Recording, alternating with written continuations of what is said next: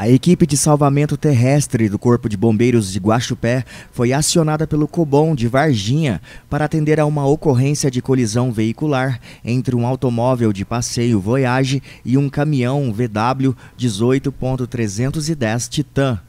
O incidente ocorreu na tarde desta segunda-feira, 28 de outubro, por volta das 13h40, próximo à destilaria Alvorada, em Guaranésia. Segundo informações de testemunhas no local, o caminhão, carregado com fardos de sacas vazias de café, seguia no sentido Arceburgo a Guaxupé, quando, por causas ainda a serem esclarecidas pela perícia técnica da Polícia Civil, colidiu frontalmente com o Voyage, que trafegava na direção oposta. Com forte impacto, ambos os veículos ficaram destruídos e pararam na lateral da pista.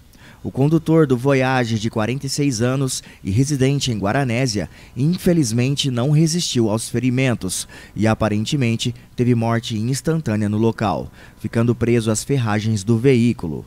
O condutor do caminhão, apesar da gravidade do acidente e das condições em que ficaram os veículos, não sofreu ferimentos.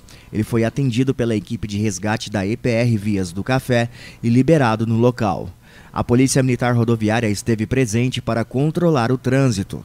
A equipe de apoio da EPR Vias do Café ficou encarregada da remoção dos veículos e da limpeza da via, que não precisou ser interditada, mas funcionou em meia pista por um tempo.